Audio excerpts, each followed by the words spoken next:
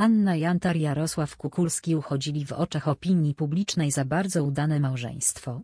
O tym jednak, co naprawdę działo się za zamkniętymi drzwiami ich mieszkania, wiedzieli tylko ich bliscy znajomi.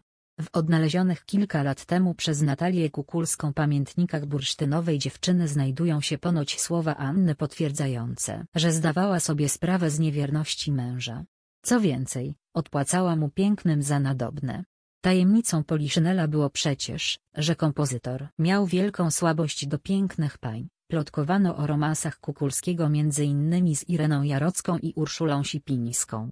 Jedynie nieliczni znali za to wielki sekret piosenkarki, która miała przyprawiać mężowi rogi z perkusistą perfektu Wojciechem Morawskim. Mama przeżywała fascynację inną osobą, wyznała w rozmowie z Galą Natalia Kukulska, gdy wyszło na jaw, że znalazła sekretne zapiski Anny Jantar. Anna Schmetterling miała zaledwie 19 lat, gdy wpadła w oko starszemu od niej o nieco ponad pół dekady Jarosławowi Kukulskiemu, znanemu już wówczas i cenionemu kompozytorowi. Odkryłem ją w poznańskich klubach. Śpiewała w Odnowa i w nurcie, a ja nieco wcześniej byłem szefem artystycznym nurtu, więc znałem wiele dziewcząt tam występujących między innymi Zdzisławę Sośnicką. Ania pojawiła się tam nieco później.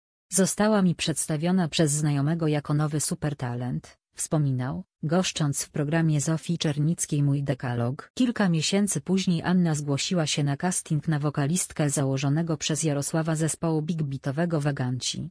Zaśpiewała mówiły mu z repertuaru Maryli Rodowicz i dostała angaż potwierdzony urzędowo, co było w tamtych czasach konieczne, by móc występować i dostawać za to honorarium. Przez jeden z oddziałów PRL, owskiego przedsiębiorstwa rozrywkowego Estrada, zaiskrzyło między nami od razu, twierdził Kukulski, opowiadając o początkach swego związku z wokalistką. Niespełna rok po dołączeniu do Wagantów Ania została żoną Jarosława, a niedługo potem, już jako Anna Jantar, rozpoczęła karierę solową. W tym roku minęło dokładnie pół wieku od chwili, gdy Jantarka po raz pierwszy zaśpiewała na festiwalu w Opolu. W 1973 roku wykonała w opolskim amfiteatrze kompozycję męża, utwór najtrudniejszy. Pierwszy krok, i dosłownie rzuciła na kolana całą Polskę. Od tamtej pory każda jej piosenka stawała się wielkim hitem. Punktem kulminacyjnym małżeństwa Anny i Jarosława były narodziny ich córki Natalii. Piosenkarka fatalnie znosiła ciążę. Pojawiło się nawet ryzyko najgorszego, umówiła się na zabieg na następny dzień. Ta ciąża groziła jej śmiercią, wyznała Halina Schmetterling w rozmowie z Marcinem Wilkiem, autorem książki Tyle Słońca. Anna Jantar, biografia. Anna Jantar podobno w ostatniej chwili zmieniła zdanie, bo chciała urodzić dziecko. Kiedy 3 marca 1976 roku na świat przyszła Natalka, napisała w swoim kalendarzyku, urodziła nam się córeczka. Jest cudna. Jestem najszczęśliwsza na świecie. Po porodzie Anna zrobiła sobie krótką przerwę od koncertowania, a kiedy w końcu wróciła na estradę, zapragnęła sprawdzić się w repertuarze nieco innym niż ten, do którego przyzwyczaiła swoich fanów. Jarosław Kukulski poczuł się urażony, gdy powiedziała mu, że śpiewanie prostych melodyjnych piosenek, które dla niej pisze, przestało jej wystarczać. Właśnie wtedy, gdy Anna Jantar podjęła współpracę z Romualdem Lipko z Budki Suflera i Zbigniewem Hołdysem z Perfectu, w jej małżeństwie zaczęło się źle dziać. Widziałem Anię przed jej wylotem do Stanów. Jechaliśmy tym samym pociągiem z Poznania do Warszawy.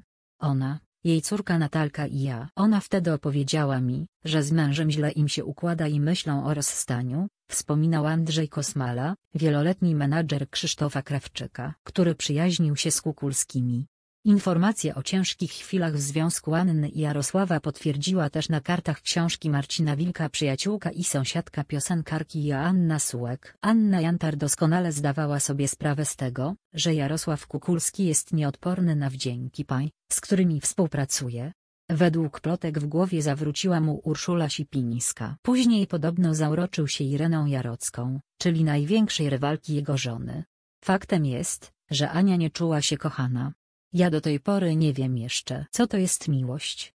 Ale mam nadzieję, że niebawem ktoś mi to wyjaśni, powiedziała podczas koncertu w klubie Zodiak w New Jersey, który okazał się jej ostatnim przed śmiercią. Anna Sułek twierdzi, że Ania przeżywała w 1979 roku wielką fascynację pewnym mężczyzną, zaś zakochanych łączyła wrażliwość, poczucie humoru, a nawet wspólne fascynacje filozoficzne. Dopiero wiele lat po śmierci Anny Jantar wyszło na jaw, że tym kimś, kto miał niebawem wyjaśnić jej, co to jest miłość, był perkusista perfectu. Podobno piosenkarka miała zamiar od razu po powrocie do Warszawy poprosić męża o rozwód, by móc zacząć układać sobie życie u boku Wojciecha Morawskiego. Dwa, może trzy tygodnie przed powrotem z USA do Polski Ania zadzwoniła do mnie i poprosiła, żebym napisał dla niej tekst o rozstaniu, o byłym mężu, tak powiedziała o Jarku, i o miłości, która umarła, zdradził Janusz Kondratowicz w książce Bursztynowa dziewczyna. Anna Jantar we wspomnieniach Marioli Pryzwan. Ania i Jarek to było przedziwne małżeństwo. Najpierw zauroczenie, wielka i gorąca miłość, a z czasem, i mówię to z przykrością, układ kompozytor, piosenkarka, napisał z kolei w autobiograficznym wieczorze nad rzeką zdarzeń. Jarosław Kukulski bardzo chciał, przede wszystkim ze względu na córkę, ocalić swoje małżeństwo z Anną Jantar. Gdy była w Ameryce, wysłał jej przejmujący list. Kocham cię całym sercem. Szczęście nasze, Anusiu, zależy tylko od nas samych. By jednak było to możliwe, musimy tego chcieć obydwoje, napisał do żony. Nie wiadomo, czy Anna Jantar zamierzała dać swemu związkowi z kompozytorem jej największych przebojów jeszcze jedną szansę. 14 marca 1980 roku zginęła w katastrofie samolotu, którym wracała z Nowego Jorku do domu. Natalia Kukulska, która w dniu tragicznej śmierci mamy miała zaledwie 4 lata, jest przekonana, że jej rodzice chcieli ratować swe małżeństwo i na pewno by o nie walczyli, gdyby los dał im taką możliwość. Po śmierci taty, Jarosław Kukulski odszedł 13 września 2010 roku. Przypis redaktor. Znalazłam dowody, bardzo dla mnie cenne, na to, że rodzice mieli być razem, powiedziała Gali. Wojciech Morawski nigdy nie potwierdził, że z Anną Jantar łączyło go coś więcej niż tylko przyjaźń. Zobacz też, szokująca prawda o Kukulskiej wyszła po latach. Jej bliscy nic o tym nie wiedzieli Wojciech Przoniak był bezlitosny dla znanej aktorki. Przez niego chciała odejść z zawodu czuje wielki żal przez brak rodziny. Niespodziewane wieści o Grzegorzu Skawińskim. Jest zdjęcie,